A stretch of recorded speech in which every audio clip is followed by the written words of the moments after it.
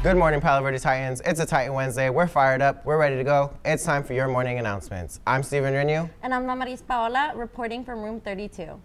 Congratulations again to the sophomore class for having the highest weekly attendance last week with nearly 96% of the sophomores in attendance. See how your class ranked on the bulletin board in the attendance office.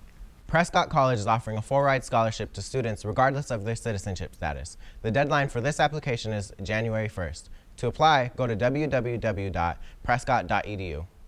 Mid-year graduates who are planning on graduating this month, there still is over $2,000 in outstanding debts owed to TUSD and Palo Verde. You need to get all your outstanding debts taken care of by this Friday, December 15, 2017, in order to participate in any winter graduation ceremonies. Return library and textbooks to the library. Equipment and items borrowed need to be returned.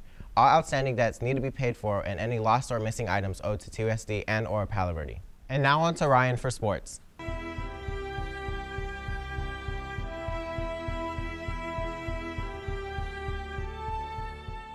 Good morning, Titans. I'm your sports anchor, Ryan Newhouse, and I'm here to bring you the sports schedule for the week. Boys and girls basketball are taking a week off from games. They will resume December 18th.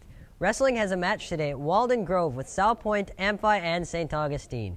Boys soccer is participating in the TUSD Soccer Invitational December 12th through the 16th.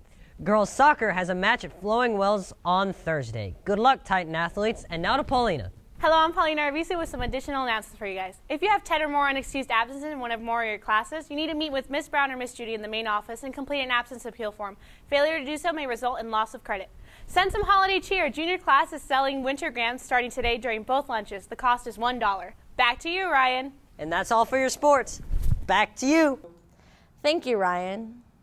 Yearbooks are available for pre-sale in the business office. The cost is 65. Last year we sold out. In order to guarantee your copy, reserve your yearbook today.